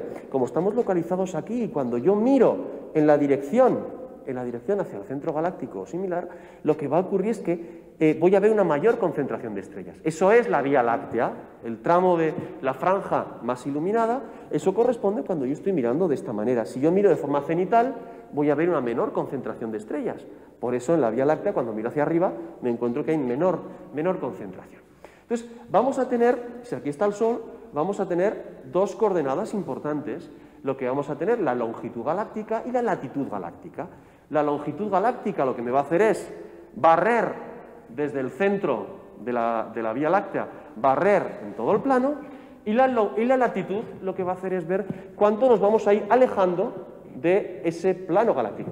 Ojo, plano galáctico que aún no hemos, no hemos descubierto, pero que con el radiotelescopio podemos hacer a los estudiantes que sean capaces de descubrir lo que estamos diciendo ahora. El objetivo es que descubran que realmente la galaxia es un disco y que tiene una estructura de brazos. Ya veis que eh, el, potencial de hacer ciencia, ¿vale? el potencial de hacer ciencia de la herramienta puede ser francamente, francamente grande. ¿vale? Em, por no extenderme, bueno, pues aquí se ve en el estelario, en esta línea de aquí es eh, la línea que corresponde al, plano galáctico. Aquí lo que tenemos son, bueno, pues eh, esto sería latitud cero, ¿vale? Latitud cero, y luego tenemos distintas longitudes. Vale, entonces lo que nos interesaría, lo que nos interesaría, si ahora la Vía Láctea hubiera estado a una altura, a una altura más elevada, lo que nos interesaría sería hacer un muestreo, ¿vale? Podríamos hacer un muestreo a lo largo del plano, ojo, plano que yo me guío por el visible, pero plano que si yo no me guiara por el visible, podría descubrir a base de hacer un muestreo de, todo, de, toda la, de, todo de los distintos puntos. ¿no? Vale, pues si vamos haciendo un muestreo a distintas latitudes, vamos viendo distintas curvas. Vamos viendo, veis que aquí este puntito se nos va a ir moviendo, ¿vale? A ver, decías, estos datos, estas curvas están hechas con el Excel, ¿vale? Estas curvas están perfectamente hechas con eh, bueno, pues con una tecnología que el alumnado puede hacer con, facilidad. ¿no? Seguimos hablando, vemos, veis que va cambiando, van cambiando estas curvas, pero muchísimo van a ir cambiando, ¿vale? Dependiendo del punto en el que nos vayamos encontrando. Claro, eh, hay que interpretar, bueno, y si miramos en un punto al azar, nos encontramos que no hay señal, ¿vale? Entonces, Eh, ¿Qué es lo que tenemos que hacer ahora? ¿Qué es lo que hay que hacer? Hay que interpretar todo esto. Eh, y de hecho, otra cosa que hay que hacer es ¿por qué están desplazadas en distinta frecuencia? La frecuencia que emitía esta situación es una frecuencia muy marcada, pero sin embargo, en los distintos brazos, en los distintos lugares, nos vemos que esa frecuencia no está clavada donde le correspondería, sino que está desplazada de un lado a otro. Y aún hay otro fenómeno curioso, es que lo que estamos viendo, lo que estamos viendo es que no son matemáticamente finitas, tienen una estructura, tienen una, un tamaño, tienen una estructura de, eh, de campana de Gauss, ¿vale? Bueno, eh, ¿y eso por qué? ¿Por qué no están todos en el mismo sitio? Bueno,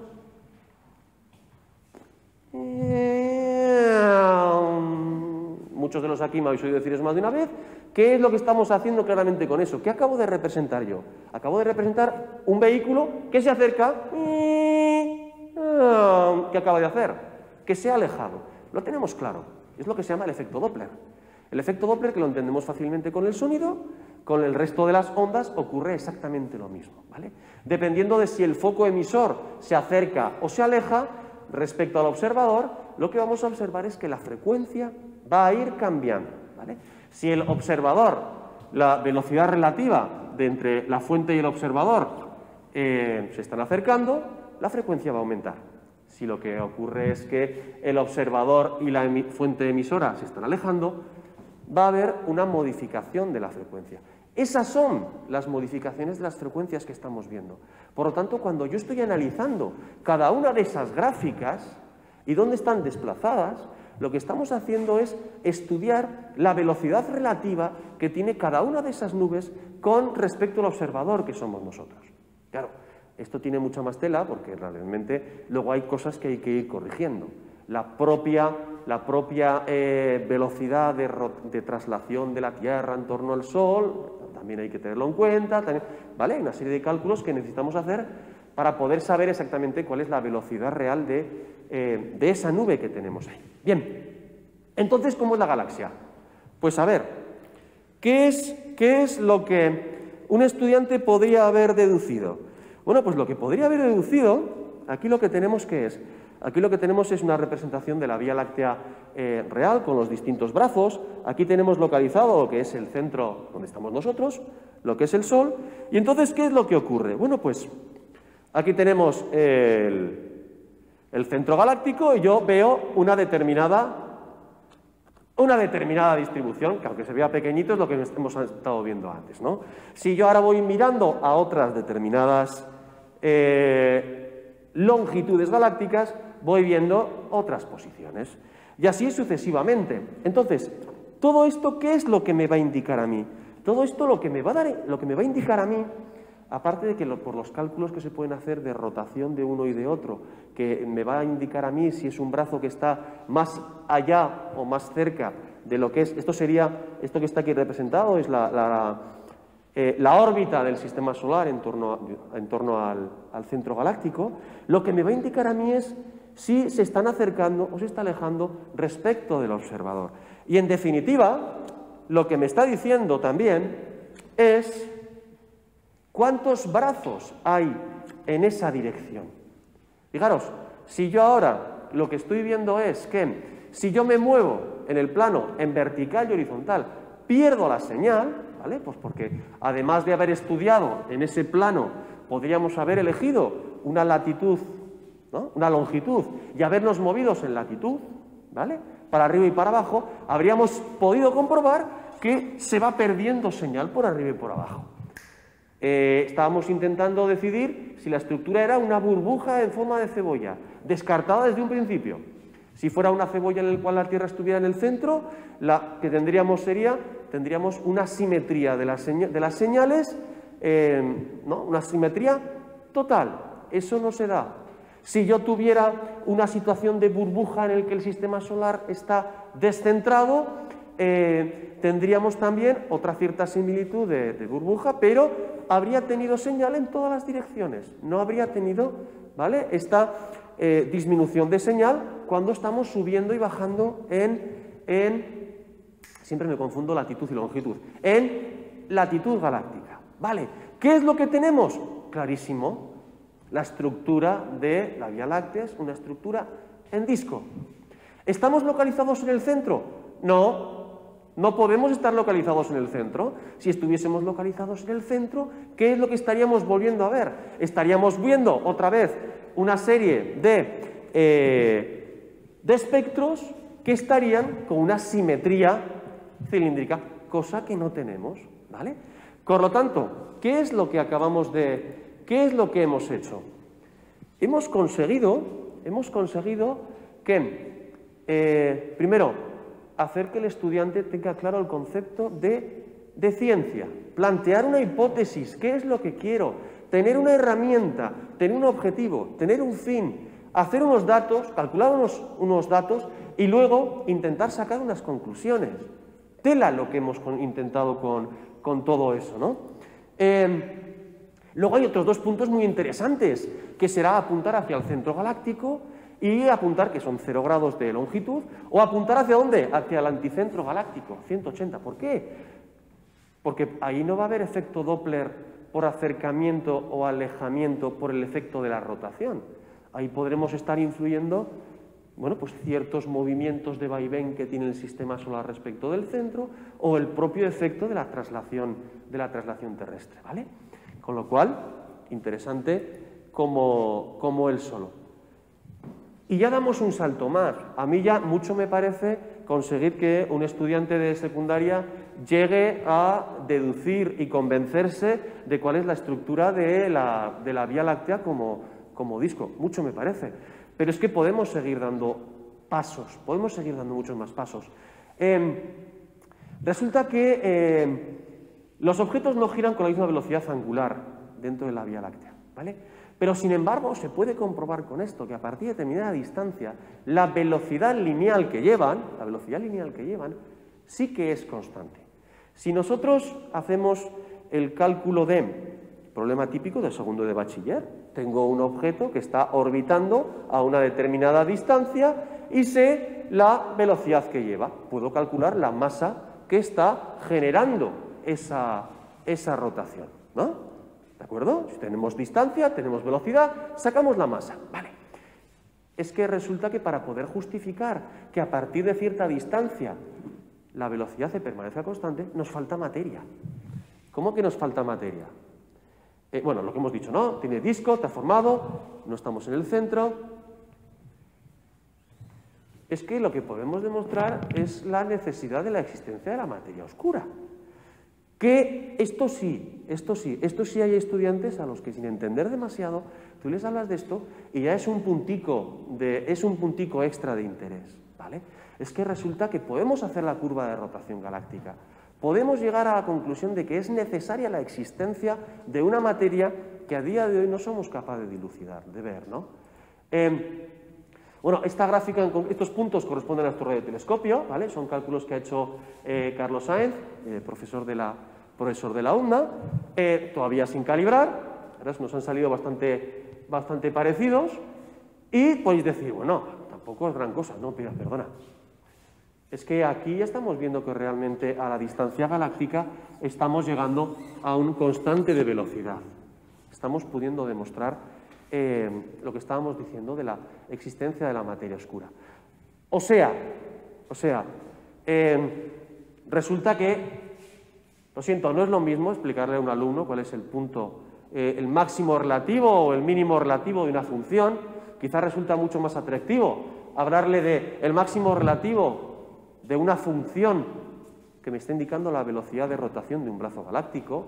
Es verdad que todo esto entra dentro ya de los gustos de cada uno y no a todos los motivas por igual.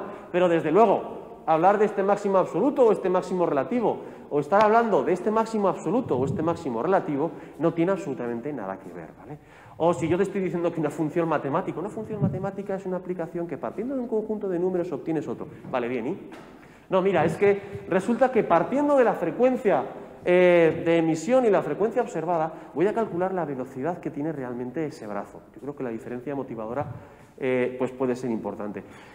no te voy a hacer el problemita de la velocidad angular que lleva el caballito de feria, pero te lo voy a comparar con la velocidad que lleva el Sol respecto del centro de la galaxia. La diferencia puede ser, puede ser importante. Y yo, mira, es que es apasionante explicar el teorema del seno para calcular cuál es el ángulo que tiene este triángulo. O sea, es de una capacidad de motivación tremenda. O sea, ¿no veis cómo duermen de a gusto cuando ya les consiguen sacar que la distancia que tiene el triángulo en B minúscula tiene una determinada distancia?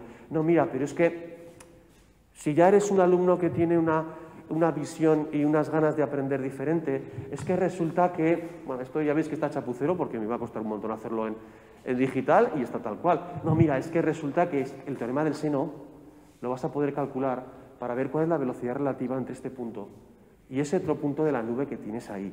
Hombre, pues igual utilizar aquí el teorema del seno para alguno de los alumnos puede ser bastante más motivador que calcular cuál es el tamaño de la distancia de ese triangulito que, de ese triangulito que, tenemos, que tenemos ahí. ¿no? Y los que hemos dado clase de informática, son apasionantes los trabajos de informática que hacemos, en los cuales calculamos la media de las temperaturas de Pamplona y hacemos la gráfica de las temperaturas de Pamplona a lo largo de los meses. Los que hemos dado informática a estos cursos siempre hemos hecho un ejercicio de estilo. Hombre, eh, y si ya lo que me haces es la media de cinco señales distintas que te acabo de enviar del radiotelescopio y lo que me haces es la representación y ya de paso me explicas cuál es el máximo relativo, cuál es el máximo cuál es el mínimo relativo. Y ya encima resulta que luego haces la representación y efectivamente parece ser que en función de la distancia al centro galáctico la velocidad permanece constante, que eso también son datos tomados del, del radiotelescopio de la UMA, oye, y que parece que esto de la materia oscura, aunque no me haya enterado demasiado, parece que está chulo y parece que es interesante. Bueno, pues yo creo que, eh, que la diferencia puede ser puede ser importante ¿no? de, cara, de, cara, a motivar el, el, aprendizaje. Y como la ciencia es lanzar hipótesis y es comprobar, y la ciencia no siempre es acertar en la hipótesis que habías previsto, acabamos de tener un eclipse. ¿no? Al día 10 hubo un eclipse de, eh, de Sol, bueno, que para aquí pues era muy escasito, ¿vale? estábamos hablando de eh, en el máximo un 6%, un 6% de, de, ocultación. Pero oye, ojo, un 6% de ocultación, ¿en dónde? En la fotosfera, que es la parte visible. Eh, ¿Tú sabes la emisión del Sol dónde se produce? Ah, pues no sé. Y si resulta que esa parte no se produce en la fotosfera, sino que se produce en otra parte que igual ha sido más eclipsada, hipótesis, ¿correcta o no correcta? Eh, dábamos por sentado que el radiotelescopio no iba a tener sensibilidad para poder detectar esa variación. Pero la ciencia no se hace presuponiendo el fracaso de tu hipótesis. Con lo cual, el día del eclipse, ahí que estuvo eh, José Javier, ¿vale? Ahí que estuvo Javier eh, sacando durante todo el eclipse, ¿vale?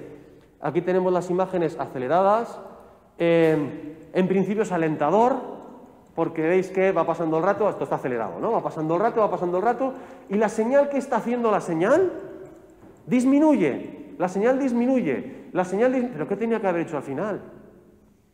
Si realmente fuera efecto del eclipse, lo que tenía que ocurrir es que la señal después hubiera subido. Hombre, era de presuponer, era de presuponer que la sensibilidad y el pequeño eclipse no lo íbamos a poder detectar. Hombre, y ya si hacemos un poco de trampa, y es, y la trampa puede ser echar mano de radiotelescopios profesionales, es que resulta que dentro de un mismo día y de a las distintas frecuencias, la variación de la señal, ¿vale? La variación de la señal que se produce eh, es muy superior a lo que nuestro eclipse podía haber predicho. Pero esto se llama hacer ciencia, ¿vale? Se llama hacer ciencia. Hacer una hipótesis ¿vale? Hacer una hipótesis y comprobar si eso tiene sentido o no tiene sentido. Hombre, desde luego que para los eclipses totales que nos vienen dentro de los próximos años, esto habrá que medirlo realmente, ¿vale? Habrá que medirlo pues, para ver a lo que podemos, a lo que podemos llegar, ¿de acuerdo? En definitiva, el radiotelescopio de la UNA a nivel técnico como motivación, a nivel técnico como superación, informático, telecomunicaciones, mecánica, hay un campo tremendo. Nivel científico, bueno, pues todo depende de lo que queramos, de lo que queramos hacer, ¿vale? De lo que queramos hacer. Y desde luego, como herramienta didáctica, a Juan Ángel evidentemente es al que menos le tengo que, convencer, desde luego como herramienta didáctica y educativo, pues tiene un tremendo, ¿eh? un tremendo potencial motivador, pero no solamente para motivar a que los alumnos y alumnas quieran hacer carreras de ciencias, sino a mí, egoístamente, que estoy a pie de obra en cursos, en cursos no universitarios, a mí el potencial que me fascina es la parte de herramienta que puede realmente servir para motivar el estudio de las disciplinas que por currículum les toca aprender y que en ocasiones es tremendamente complicado el intentar responder a la eterna pregunta de ¿y esto para qué sirve? Bueno. Chispún.